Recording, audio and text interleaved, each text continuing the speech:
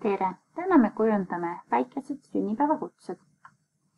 sünnipäevakutsed teeme tabelina niimoodi, et saaks korraga kujundada neli kutset ja lisame siis tabelisse vähemalt ühe pildi igasse lahtrisse. kõigepealt kliki sinna, kus sa tabelit lisada tahad, vasaku hiireklahviga. võta ülevalt sisesta, tabel ja joonista kaks korda kaks tabel. see tähendab seda, et tabelis on kaks rida ja kaks veergu nüüd kliki parema hiireklahviga esimese rea ees. mine menüüga natuke allapoole ja vali tabeli atribuudid. muudame rea miinimumkõrgust, muudame selle number kümneks. Ja vajutame OK. siis see on automaatselt selline pikem äh, kõrgus. Ja teisel real samamoodi klikime siin ees.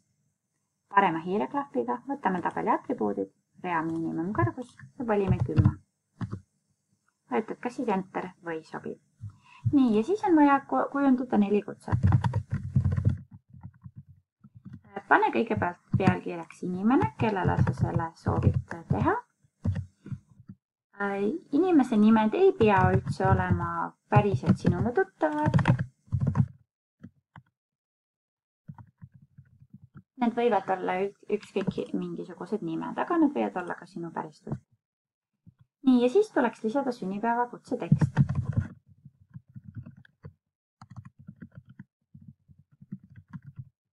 oled oodatud minu sünnipäevale näiteks. kindlasti paneks sisse juurde kuupäeva. sina kirjutasid päris kuupäev, kellaaeg ja koht, kus sa sünnipäeva pead. sünnipäeva kohaks võib olla minu juurde kui sa kirjutad seda mõeldes päris kutsele, sõbrad sinu elukohta ilmselt teavad.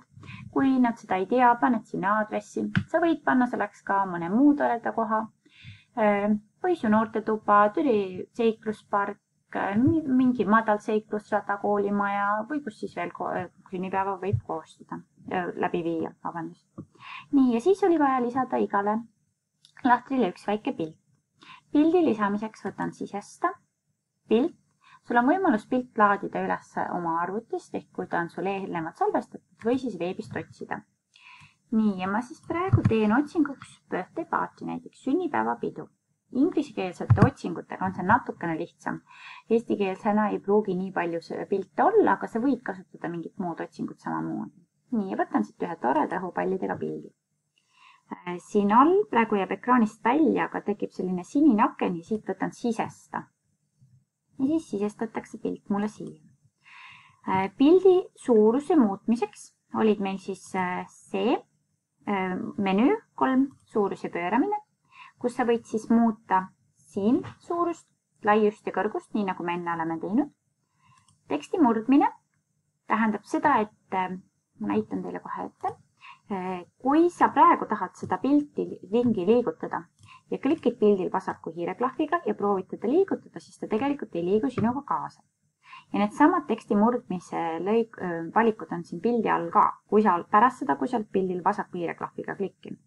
valin näiteks murra teksti siis on mul võimalik seda pilti siin üles-alla nihutada, et siis ta paneb ta siia teksti vahele vajadusel. ma võin muuta, võin muuta suurust selle suuruse pööramisega aga samamoodi, kui ma võtan kinni siit äh, vasaku hiireklahviga, hoian vasakut all ja lohistan nüüd seda ühte nendest sinistest nelinurkadest, siis mul on võimalik seda suurust siin muuta. vaata, et sa ei viiks seda kasti väga palju suuremaks, et kui meil enne oli suurus kümme ja kui sa viid teda allapoole, siis see kasti alumine osa liigub temaga kaasa. proovi ikkagi seda kasti suurust säilitada ja pane siis see vajaolev tekst ja alla võiks siis veel lisada kõige lõppu siis oma nimi ka. ja võid panna, kui sul on see teksti murdmine, et siis sa võid paigutada niimoodi, et see nimi on näiteks siin allpool.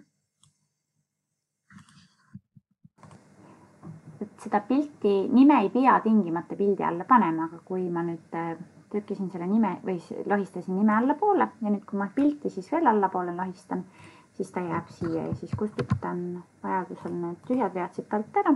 kui ei ole, et siis on võimalik see nii teha, et siia alla nime asemele läheks siis sinu nimi, aga seda ei pea tegema, nimi võib ka siin üleval kohe selle koha järgi olla.